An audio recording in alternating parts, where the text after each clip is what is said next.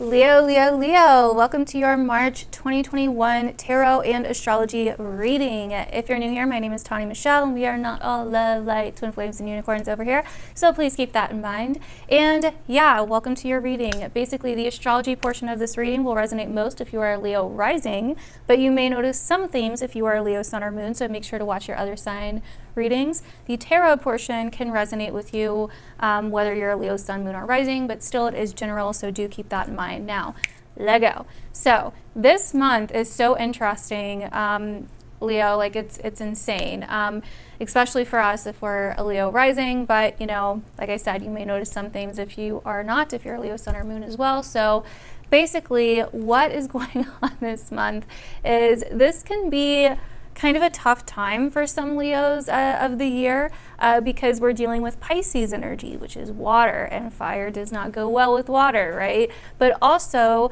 Pisces is our eighth house sector, right? So this deals with um, the depths of life, the hard challenges of life, but also finances, other people's money, other people's resources, assets, finances, resources that we share with another person, organization, or institution.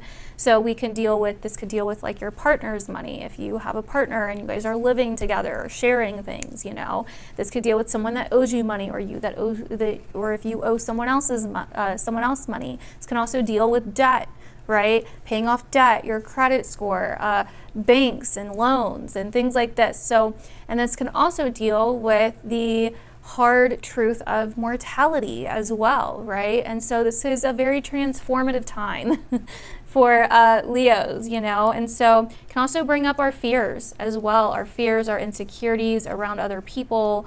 Um, basically, the karmic ties and commitments or the hard commitments that we can share with other people. But it's not necessarily all doom and gloom. I mean, there is, this is a good time to focus on business decisions, uh, you know, to get your finances in order, to pay off certain things, or to get good news about paying off certain things or some kind of money that's owed to you.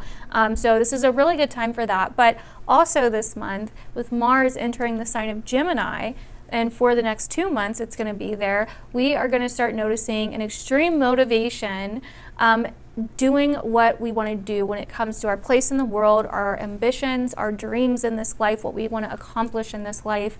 But not only that, other people, networking. Um, this is a month where you could get into some kind of partnership with somebody, or you could be working with somebody, or you could be, um, you know, possibly having some kind of uh, business partnership in some way. But basically, or you could also be working with like like-minded people or doing something with groups of people, like-minded people, taking some kind of class or course.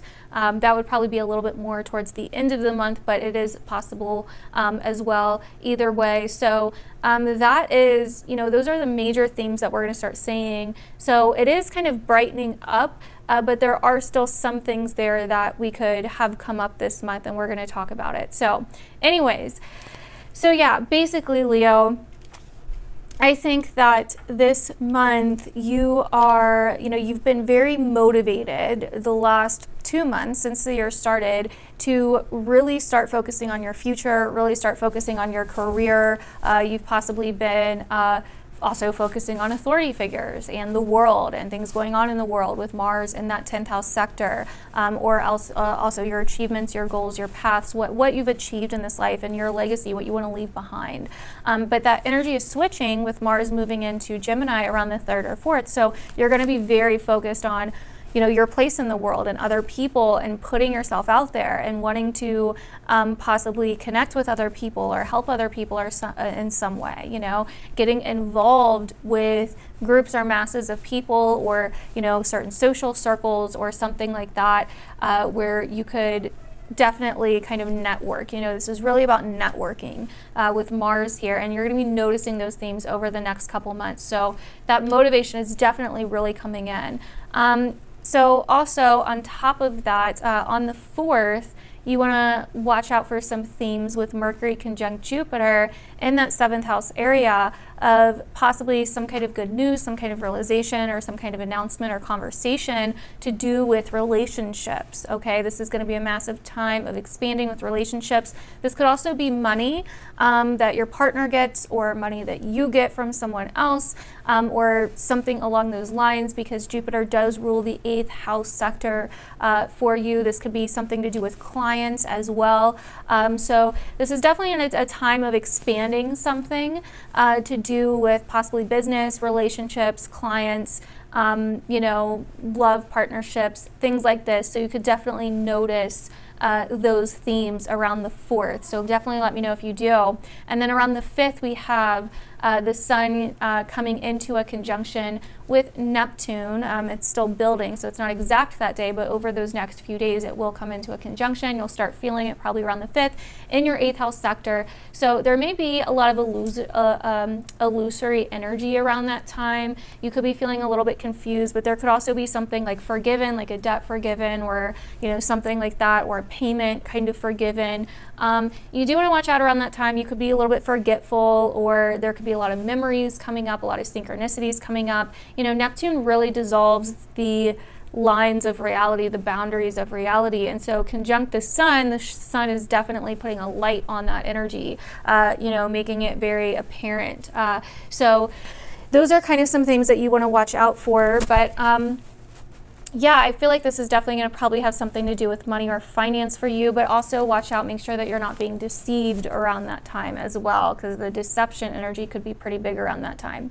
On the 12th through 13th, we have the Pisces new moon happening, and uh, this is going to be very interesting because it's going to be conjunct Neptune and Venus and sextiling Pluto in our fourth house of Scorpio.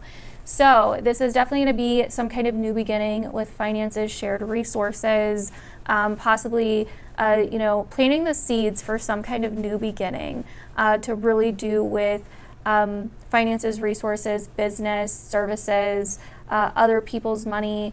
Um, shared resources, shared finances, your partner's money, or possibly like a partner in general. Um, so definitely watch out for those themes around that time. It could also bring up possibly some fears or um, some things that you somehow need to work through, okay, that you've been holding on to.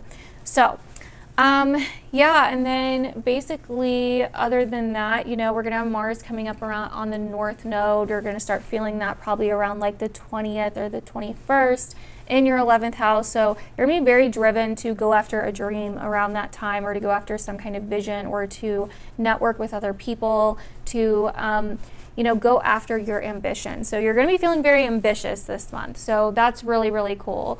Um, and also, we have the Libra full moon on the 28th. Um, which is going to be in your third house sector. So there could be something that you're wrapping up to do with learning, something that you've been learning, or a new skill that maybe you've been learning. Um, there could also be um, something to do with siblings or relatives or community or friends around that time. There could be some kind of meeting that you're having around that time.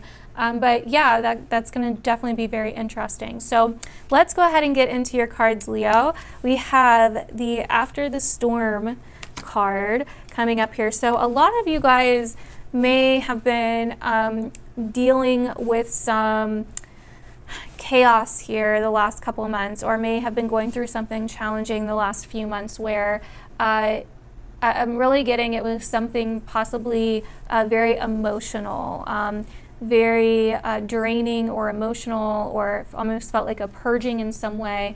And lately you've been finally kind of rising above that. Or I'm also getting that for some of you, you guys are finally healing something that you've been trying to heal for a long time. And now you're like seeing the bigger picture or the payoff of this. Um, you know, for some of you, maybe not all of you, but you're finally rising above you know, you're kind of like rising from the ashes, Leo, which is really cool. Um, you're, there's some kind of new perspective coming in here for you at the beginning of the month, so watch out for that. Um, we also have trust yourself. So for some of you, um, I think you could be sometime this month possibly second guessing yourself a lot or feeling a little bit insecure in your own abilities, feeling a little bit insecure in yourself for some reason or another. And I'm really getting here that Um, I know like trusting yourself is easier said than done. It's easy to just be like, yeah, trust yourself, her, her, her. But like, it's so much easier to say that than to do it, right? Like, how do you trust yourself? Well, you trust yourself by finding out why the hell you don't trust yourself, right? Um, why don't you trust yourself? Because the reason that you don't trust yourself is because you are in conflict with yourself and you go against yourself all the freaking time. And so to kind of mend that trust, you know, to kind of bring that back together, you have to start showing up for yourself. You have to start putting in and trusting yourself enough to say, okay, like I know that I don't want to do this, so I'm not going to do it. Instead of being like, well, I feel bad, like, you know, what if this person thinks this or what if this person thinks that? And um, you know, no, you can't you can't do that. So you have to start uh, putting in the effort, putting in the work, and integrating instead of separating or being in conflict with yourself. So we also have the card inspiration, which, like I said, you're definitely going to be feeling inspired this month. You're definitely going to be uh, connecting, networking possibly doing something on social media. You may be inspiring other people this month as well, Leo. So this is really awesome. Um, and I think through that, you're going to be confident. You're going to feel empowered. Um, and then we also have defend to the end the worthwhile. Um, so this to me is also very interesting. You know, we have two owls here in both of these, uh, you know, pictures here, which is interesting. So, um, whoop. so I feel like you maybe defending someone or a group of people or even yourself this month, Leo, you may get into a situation where you need to step up and defend yourself. And um, I think that's what this trust yourself card could be about. Um, because I am even seeing your tarot cards. We start off with the Hanged Man. Some of you guys have been possibly feeling a little bit stuck for a little bit, right? You've been feeling a little bit stuck. Um, possibly having trouble discerning like which way you want to go or surrendering something or not really sure what you want to do about something. And so I feel like, you know, with the 6 of swords, you've been trying to get out of this mentally. You've been trying to escape um, this kind of stuck feeling, but you really haven't, you know, like it, and so you just keep feeling more and more stuck with this 4 of Pentacles here, and the stuckness is coming from something physical like money, um, you know, something that you own, a home, or um, you know, something like that. It's coming from something physical that you feel you need in order to get unstuck. And I think this month is like showing you that you really don't need all of that. You have to integrate. You have to bring the different things together, the different conflicts within you together. It's like, okay, I'm not going to sit here and wait around for this part of me and this part of me to be on the same page or for this fear and this desire to be on the same page. Like, I'm just going to bring them all with me and we're just going to go and we're just going to do it. You know, that's what the chariot is. So you're like, you know, you have this drive, this dedication, this inspiration to finally move forward and go after what you want um, which is going to help you so much in facing your fears and taming your fears so they don't control you. When we face these fears, when we face, you know, these insecurities, these deep traumas that we have, we are able to tame the beast within instead of it controlling us. You know, this is an example of it controlling us or even facing it. You know, it may, it may not even be it controlling her. Like, crying can be a way to face it. Crying can be a way to finally be like, okay, I'm just going to let this bitch out.